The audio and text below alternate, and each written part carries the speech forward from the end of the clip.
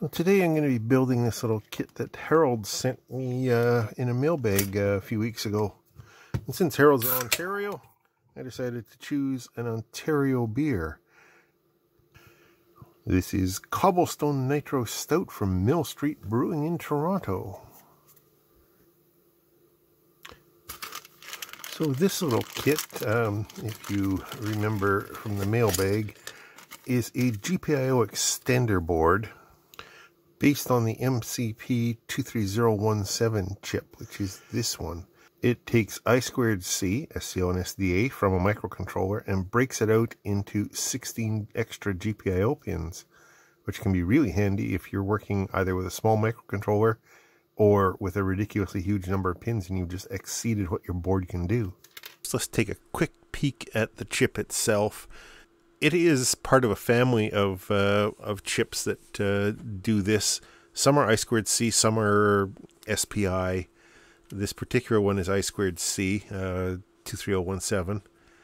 Um, comes in a variety of packages. Of course, it'll operate down to 1.8 volts, which means you can use this for the 3.3 volt microcontroller families, or it'll operate up to 5 volts, which means you can use it for the more traditional Arduino stuff. There's the basic block diagram. Uh, serial data comes in there. Uh, address decode if you happen to be using I squared C, which we are. It has a couple of interrupts that it can send to the microcontroller so that the microcontroller doesn't have to constantly scan this thing. It can just uh, ignore it until something changes out here and that flips an interrupt. And then there are the 16 GPIO out there. They are just, as far as I know, just a standard GPIO. They're not PWM or anything like that. They're not analog, uh, analog to digital converters. But just for standard I/O, handy enough chip. So included in his little kit, there is the chip and the socket, the board itself, nice solid board, bunch of pin headers, a whole bunch, a little SIL resistor array, so this is a 103 or 10K resistor array. So it's got nine pins. Uh, it contains eight resistors, these pins here, and each one has the uh, common side coming back to this first pin at this end. Handy way to get a whole bunch of resistors into a fairly small footprint. And then there are three just standard resistors, which I assume are pull-ups or something similar. They'll be going in there. Now, in his note, Harold pointed out that he missed putting in some pull-up resistors on the I2C lines. So that uh, will be something that I will add out of my selection of uh, parts. I should be able to do that. There'll be header pins going in there. And 5 volts is conveniently located there, so I should be able to bodge that on on the back fairly easily, I would think. So let's get started. I think we'll start with these three loose resistors that uh, came with it. And just out of curiosity we'll see what they are. Looks like they're 10k are they all the same? I assume so. Yeah they are. Okay. So those three go in these positions down in the corner here.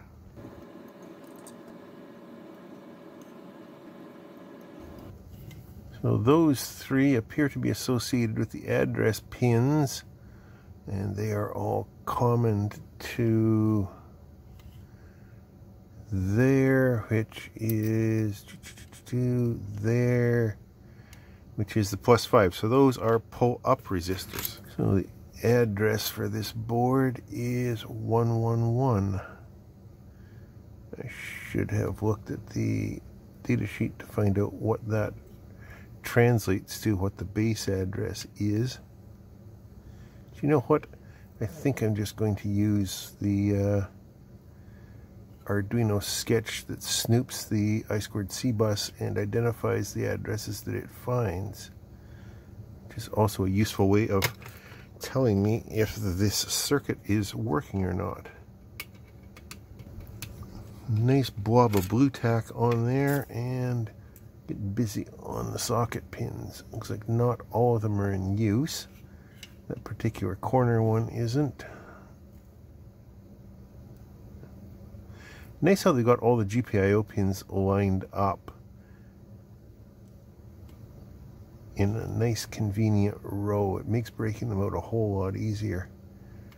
Well done people at is it Microchip Corporation, MCP? When you designed this board, however long ago it was you did, did that.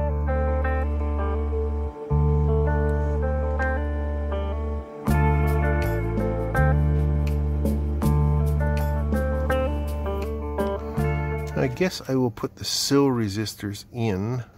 As I mentioned earlier, that that end, the little arrow indicates the common side of them. And he has conveniently put a dot where the common side goes. So that one goes that way up, and this one, the dot goes at the other end. Like that. And I guess I will throw some Blu-Tack on here just to hold them from falling out when I flip the board over.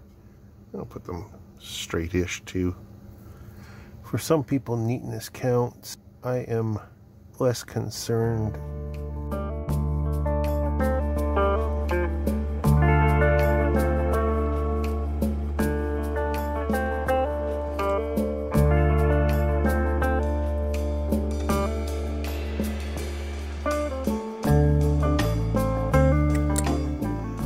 rest of it is just putting in pin headers. So what he's done on here, and I commented on it in the mailbag, is he has, for each GPIO, he has three pins. One is the ground, which appears to be the outside one on that. And how does the ground get over to here? Yeah, so ground is on the outside. Plus 5 volts is on the middle. The GPIO is on the inside. So rather than using the black headers that he has supplied with that, I'm going to dive into my stash. And I am going to use red and green for the positive and negative voltage, and then I'll use the black ones that he sent me for the uh, for the actual signals. There, just about like that. Now the hard part comes in soldering them all in place because I probably shouldn't have done it like that. Make this work easily with some painter's tape just to hold them in place. I don't know if it will or not, or if it's just going to make it even uglier, but we'll give it a shot. I think I'm just going to do one pin at the end of each strip for now. and then straighten them up and then go from there.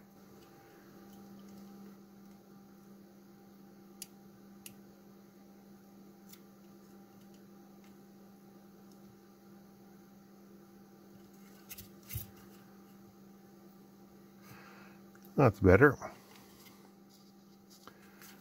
Let's do the power pins and uh, data pins here before I get too carried away as well.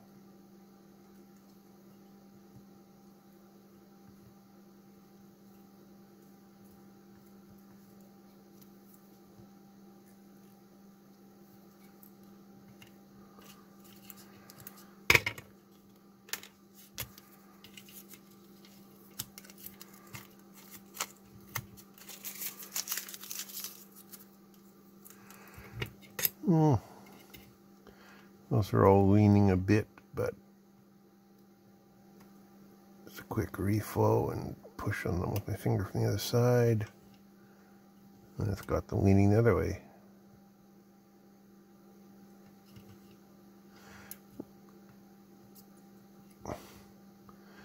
That's not bad.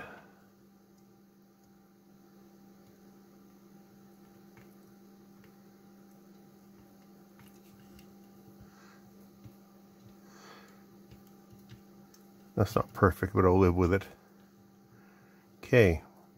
Those are all nice and straight. Those are the ones I'm more concerned about. Now I'll just solder the whole shooting match down again.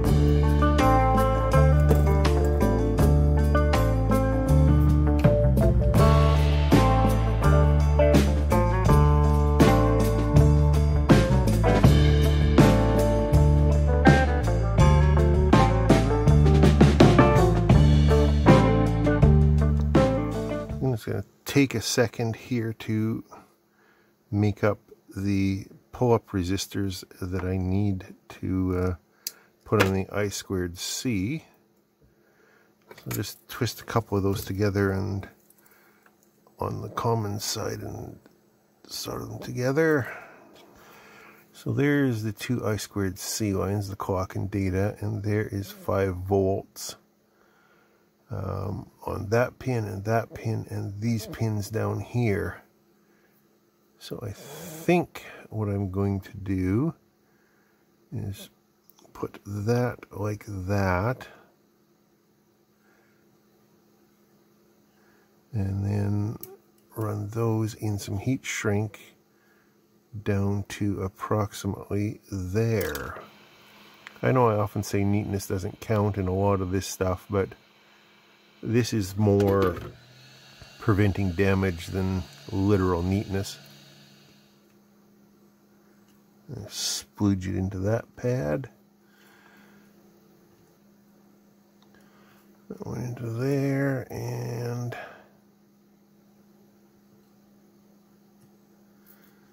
that went into there. I don't think that took, but I'm going to shorten them up anyway.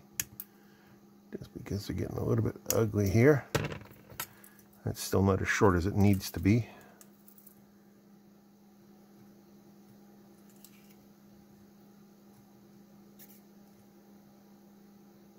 Okay, that's connected. That's connected and here's that little tail. That should do. So before we get too carried away and put the chip in, let's just put the power supply on it um, and see what happens. Power supply shows zero current draw, which is approximately right. These pull-ups aren't doing any significant amount of, uh, of current because they're not supposed to. They're just a gentle pull-up.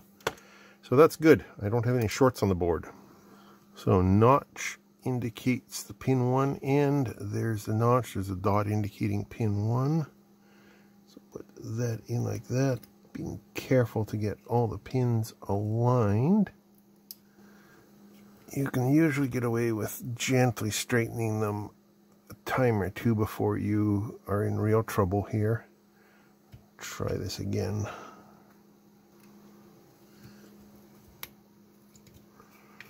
Okay, I think I've got them all started.